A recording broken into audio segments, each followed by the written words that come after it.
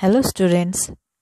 Now we will study chapter 15 that is Our Environment, page 256 from today. And please don't forget to keep your NCERT science book while you are watching this video. It will make you understand easily. Have you heard the word environment being used frequently by the people? Yes, of course, no? And we also hear this term being used in newspapers, TV, and radio too. Now, what is this environment? Environment is simple yet very complicated term and we can define it like this. The immediate surroundings or conditions where non-living and living organisms interact and live together is called environment. In other way, we can define it like this. Everything that surrounds us is called environment. A very sad truth. We, the humans, are very much responsible for destroying our environment. What happens when we add waste to our environment? We generate a lot of waste materials that are thrown away. And have you wondered? These wastes are of different types. Can you give me some examples of waste that come out of your kitchen? Okay, you, you can uh, think the examples. By now, you are able to see the differences in waste. Yes, they are of two types. Number one, it is biodegradable and number two it is non biodegradable now what do we mean by biodegradable? Uh, waste or substances? Substances which can be decomposed by the action of microorganisms are called biodegradable substances. Examples are fruits vegetable peels cotton jute dung paper. And by the way that is not steel jute okay? These substances they can decay easily. They can be decomposed. Next it is non biodegradable substances. Substances which cannot be decomposed by the action of microorganisms are called non biodegradable wastes. Example plastic polythene metals synthetic fibers radioactive waste, pesticides, etc. These they will not be decomposed by the microorganisms. We can uh, find plastics or polythenes or metals uh, inside the earth as it is even after many years. Hence, they cannot be decomposed by microorganisms. Examples of these biodegradable uh, substances and non-biodegradable substances you can add more over here. You know, when microorganism decomposes these materials, they release enzymes, particular enzymes to release, sorry, to uh, decompose these materials. But these enzymes are also very much specific in their action. That is why they can decompose only some substances and the rest they cannot be decomposed by these microorganisms. Uh, next it is ecosystem. It is in your book also. It is over here. It ecosystem. Now ecosystem. It is the structural and functional unit of biosphere comprising of all the interacting organisms in an area together with the non-living constituent of the environment. Okay there is another definition also. It is ecosystem is the functional unit of environment comprising of living and non-living components. As a whole we know that in this earth there are living and non-living things. Excuse me. And they both are interdependent. That means they both depend on each other uh, in this earth. Hence these two living and non-living components form the ecosystem. Ecosystem. It is of two types. Or we can find two types of ecosystem in this earth. One is natural ecosystem another one is artificial ecosystem. Natural ecosystem are those ecosystem which exist in nature by its own. There is no interception of humans. Examples are forests lake oceans etc and artificial ecosystems are man-made ecosystems that are made by humans. Mm, and examples are garden crop field aquarium. Now uh, we can uh, see the example of garden. Now when we uh, uh think of a garden we think of uh, different flowers small trees bushes uh, small shrubs weeds different kinds of flowers no uh, over there. And not only that we can see there small insects uh, spiders and all. Each and every insects which we can find in garden. And also the soil water and all. These together make up an ecosystem. And don't forget garden. It is made by human hence it is a sorry it is an artificial ecosystem. And our ecosystem it comprises of or it is made up of biotic and abiotic factors. Biotic means living things that is plants and animals.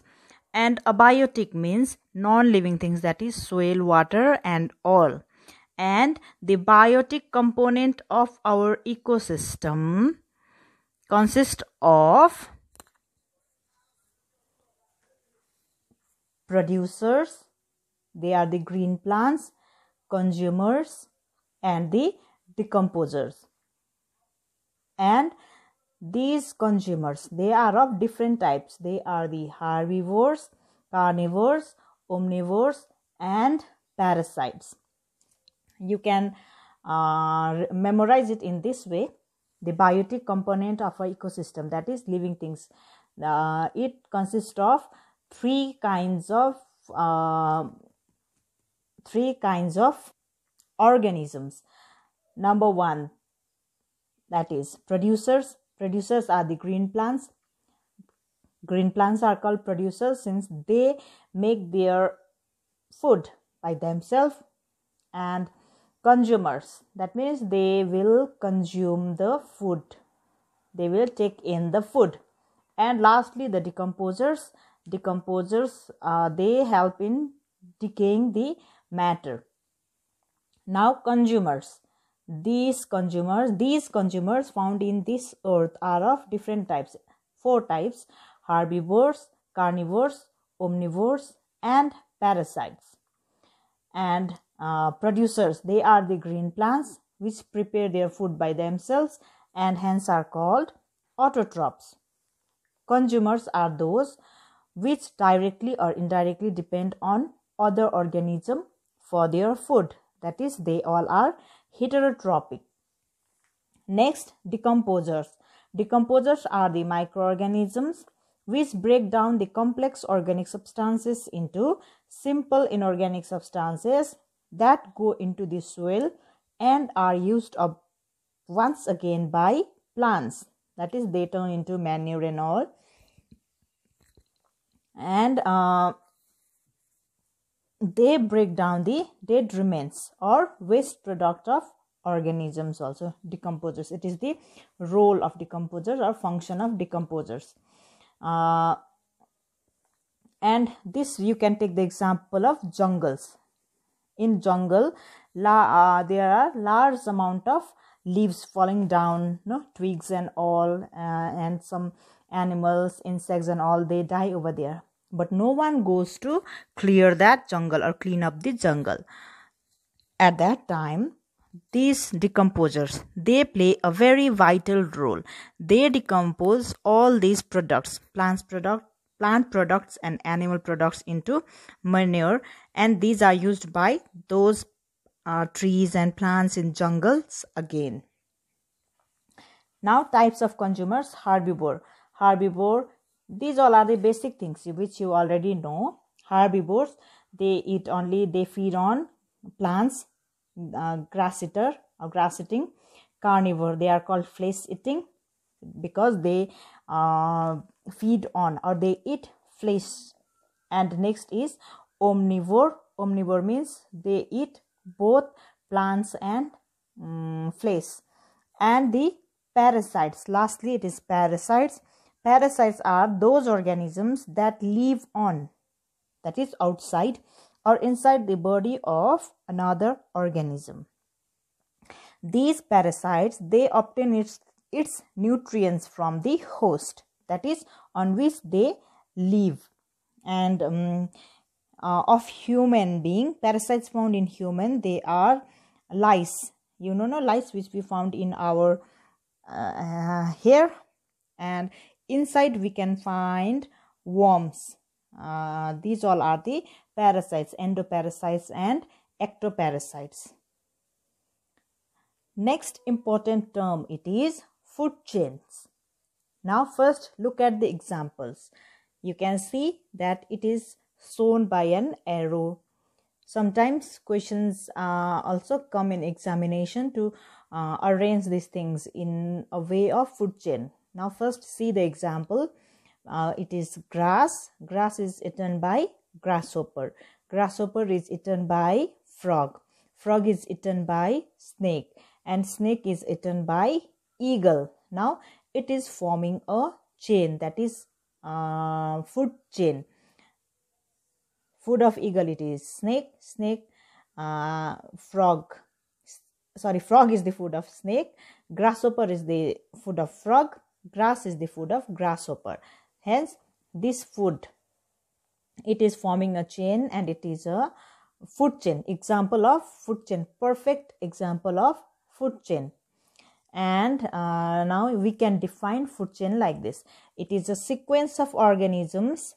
Sequence means see then you can see really sequence of organisms through which energy is transferred in the form of food by the process of one organism consuming uh, the other. One organism consuming the other. One organism consuming the other. Now this is forming a food chain.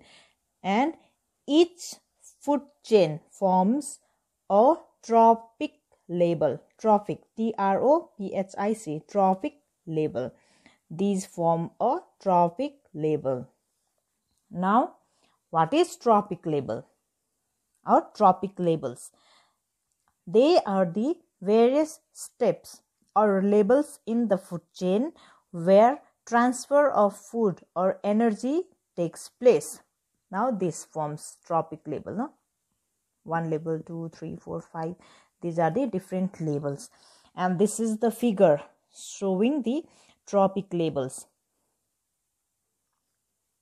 This also sometimes uh, comes in examination to draw the tropic labels it is in your book uh, in figure 15.2 and in figure 15.1 you can see the different food chain no here grasses these are eaten by deer and deer is eaten by tiger grass eaten by insect grasshopper frog snake and eagle grass eaten by scorpio fish and fish is eaten by crane these are the examples of food chain.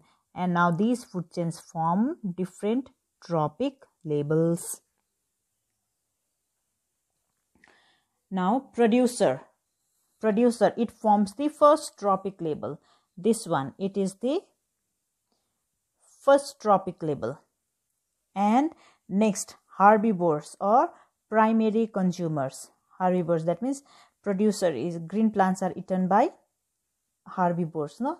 They form primary consumers. They form second trophic label. And next carnivores carnivores or secondary consumers they form the third trophic level. and large carnivores or tertiary consumers they form the fourth fourth trophic label so producers green plants they are the first trophic level. primary consumers that is herbivores they form the second trophic label secondary consumers or the little carnivores no?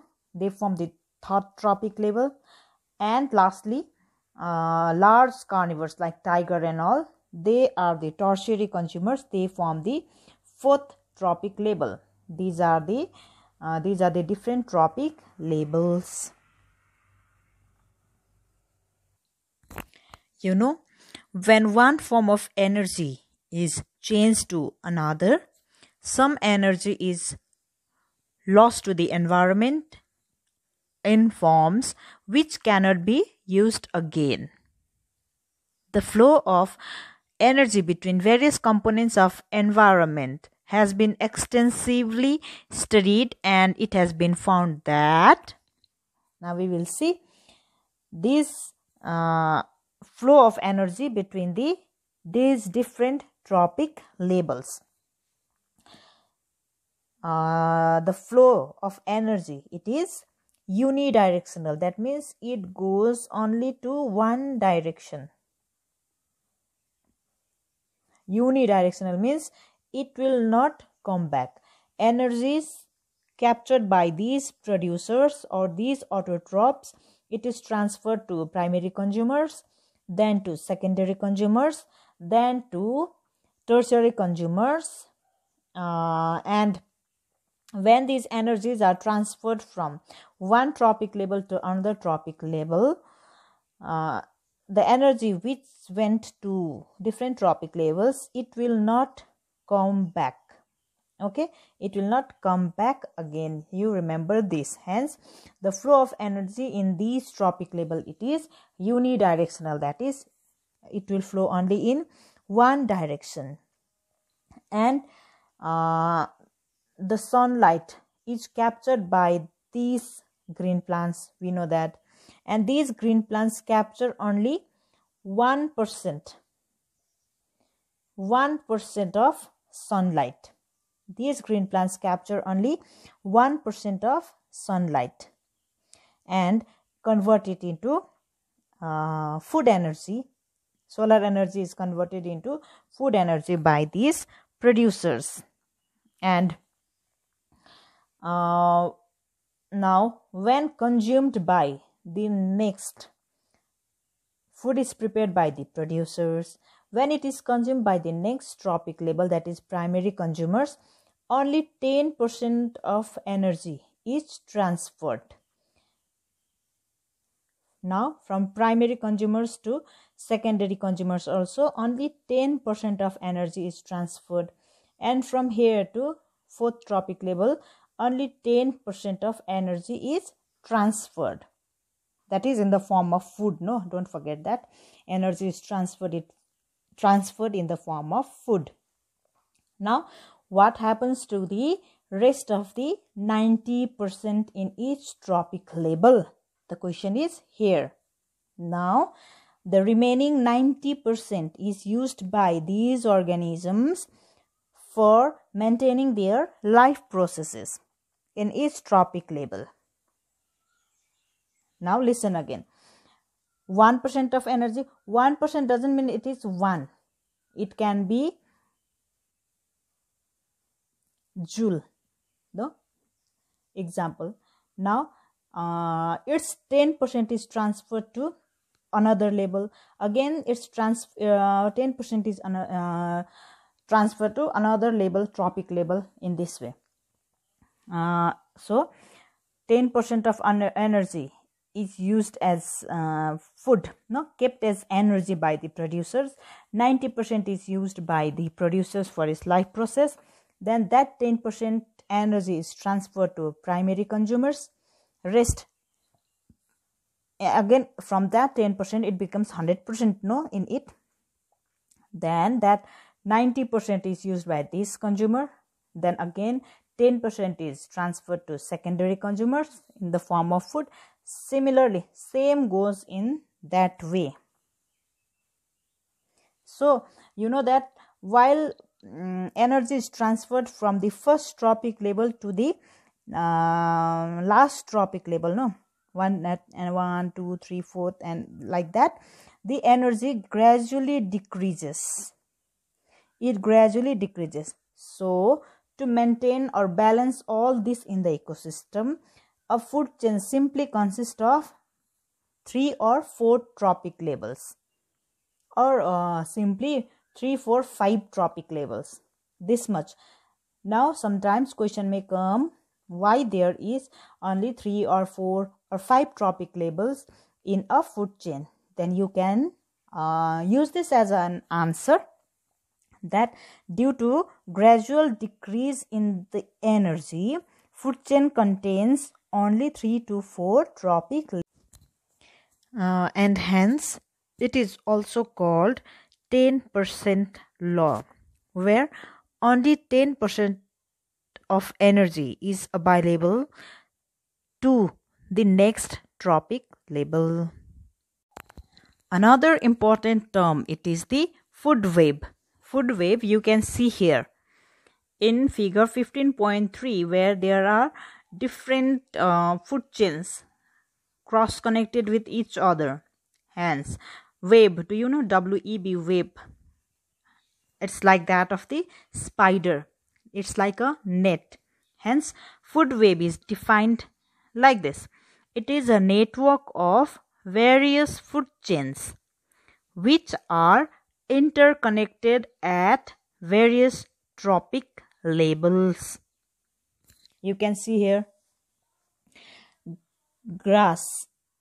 It is eaten by insect. Same grass. It is eaten by rat. No?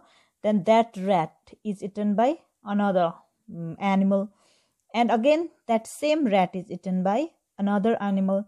And it is also eaten by another animal. That means one trophic label may be eaten by different another tropic label grass is eaten by peacock and all hence it forms a web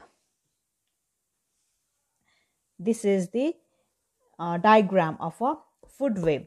Since an organism can occupy position in more than one food chain in the food web, it occupies more than one tropic label. You will also get to know this. See, they are they occupy different position no? in more than one food chain. First it is second now see uh, grass. And the this animal peacock. First trophic label second trophic label. But if we go from here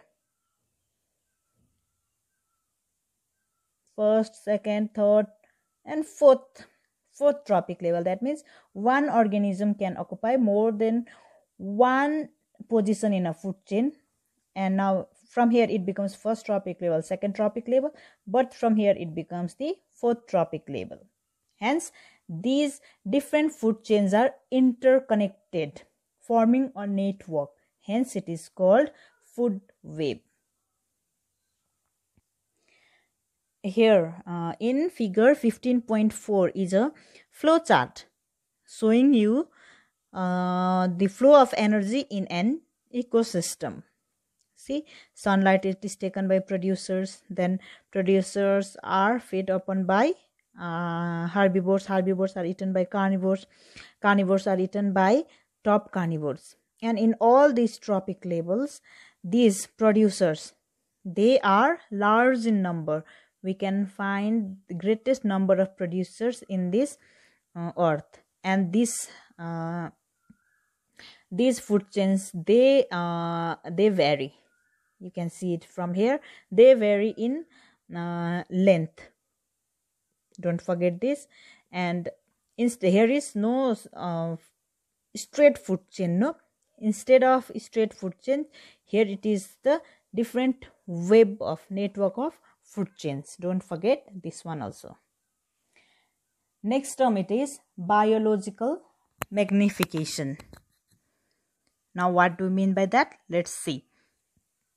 The concentration of harmful chemicals increases with every next tropic label in a food chain is called biological magnification. Now, you know that uh, what do you mean by this? From where the chemicals come? Let's see here.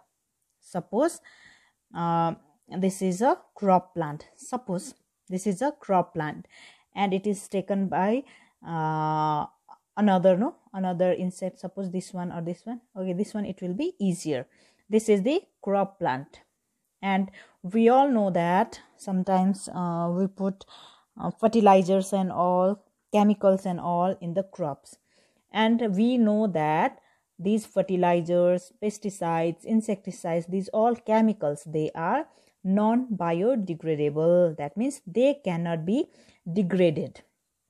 Hence when it is fed upon by another organism that fertilizer or that chemicals will pass into another trophic level from here to the next trophic level suppose if this fish is eaten by human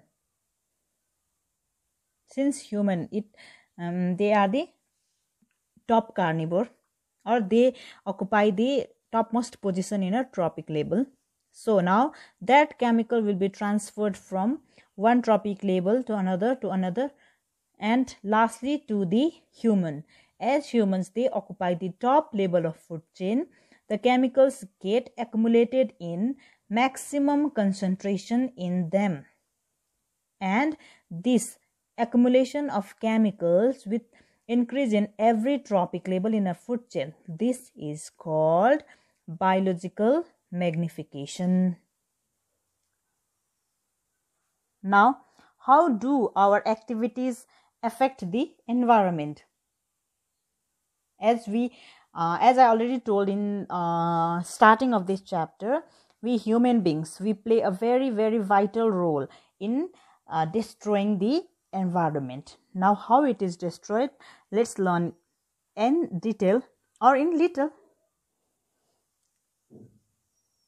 one is uh, we have we help not help what can we say we are responsible for depletion of ozone layer and next is the production of huge amount of garbage see these are the uh, things.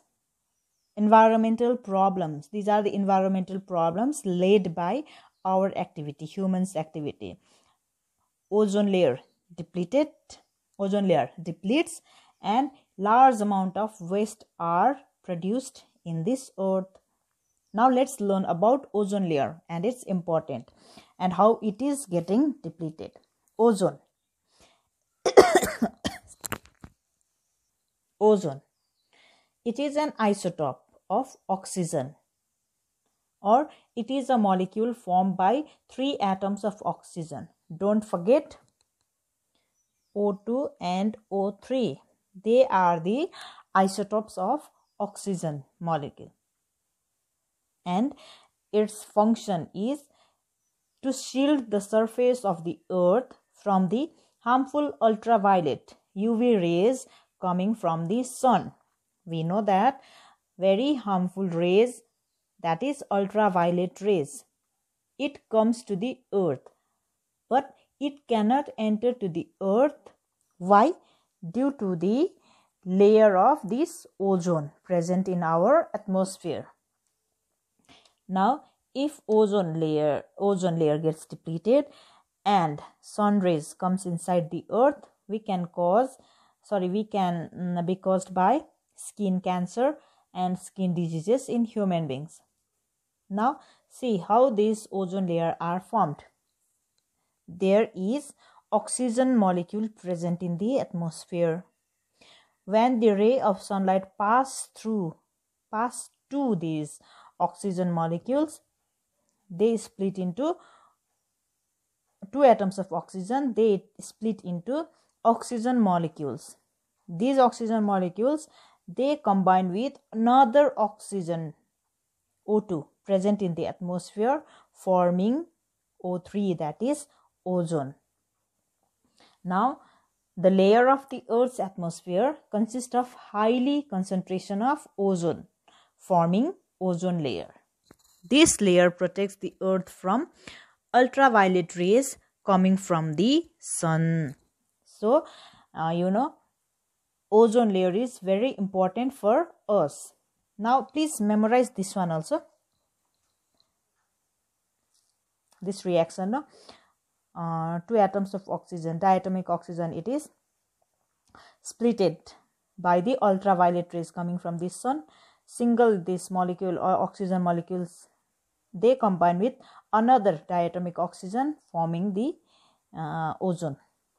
So, uh, the importance of this layer is it is a protective layer that protect us from that shields us from the ultraviolet rays coming from the sun. And next what is the reason for the depletion of ozone layer? It is uh, the release of chlorofluorocarbons cfcs which comes out of the refrigerator uh, fire extinguisher and all. And next is the pollutant that is nitrogen monoxide NO which comes out from factories and all these all are responsible for depletion of ozone layer and these all uh, are the result of human activities. Now next is the production of garbage no? We produce large number of garbage but how can we uh, manage it? How can um, this garbage be managed. It is because uh, you know improvement in lifestyle of our human beings have resulted in accumulation of large amount of waste materials in this earth. And you know if we keep all the wastes product uh, produced uh, from the people living in the earth it can form a huge uh, mountain like Mount Everest. I think more than two or three Mount Everest. I think I guess it, no? Uh, don't take it seriously. And you have already learned that garbage they contain two types of material biodegradable, which can be decomposed, and non biodegradable, which cannot be decomposed. Now, it is a huge problem, but here are some methods of waste disposal. First one it is biogas plant. Here biodegradable biogas and manure. I think you all have heard about gobar gas also. Uh, in a huge tank, the gobar is uh, kept for decomposition and when the decomposition takes place since decomposition it is an exothermic reaction it releases heat plus gas and that gas can be used in our chula stove and the manure. So some of the biodegradable waste can be uh, put in biogas plant to produce biogas and manure. Next is sewage treatment plant. This plant doesn't mean that plant no trees and all. These are the factories mm, big factories this sewage treatment plant plant here the drain water which contains sewage can be cleaned. And uh, it can be cleaned and then put into the rivers. Next is the landfillings. I hope you all have seen uh, landfill on the way to Gangtok. you can see there. There in such landfills the wastes are buried in a low lying areas and are compacted by rolling with bulldozers and all. That means firstly in that low lying area wastes are dumped and then it is again buried by uh, mud no soil and run bulldozer making it uh, compact by compressing it. Then again it is filled with waste and again it is compressed like that way uh, in landfills such situation occurs. Next is composting. You have learned in 9 about composting no? Here organic waste can be filled in a compost pit and covered with a layer of soil. And about after 3 months garbage can be sorry garbage changes to manure which can be collected and put into vegetables plants etc and i think you all have heard about uh, 3 Rs or 4 Rs something like that. Here we will learn about recycling and reusing. Recycling means non biodegradable waste which are non decomposable can be recycled to make new things. Of course we don't have uh, things to uh, recycle it here but we can send it to the garbage collector and from there different garbages are different items are separated and sent to the factories. Uh, you know uh, the jar paramatma jar it is covered with plastic. That plastic it is used to um, make a recycle. That is recycled to make rope colored ropes that comes where we hang our clothes and that all. And next is reuse reuse it is a very old technique conventional technique. We know that um, uh, these all bottles of uh, soft drinks and all we can use to carry water making it a water bottle uh, and the buttas of mithai sweets. It can be used to keep uh, something dal and all at our home. Th- that is reusing. And there are three more. Can you guess it? If yes please read it. It will be helpful for you. Hence don't forget the various components of ecosystems living and non-living things. They are interdependent. That is they depend on each other. And uh, next is next point it is the producers green plants make the energy from sunlight available to the rest of the ecosystem. That is uh, green plants capture solar energy and transform into food energy which is not available to rest of the uh, organisms in ecosystem. And um, next point it is there is a loss of energy as we go from one trophic level to next trophic level hence there is a limited number of trophic levels in a food chain. Next it is we the humans have a very bad impact on the environment.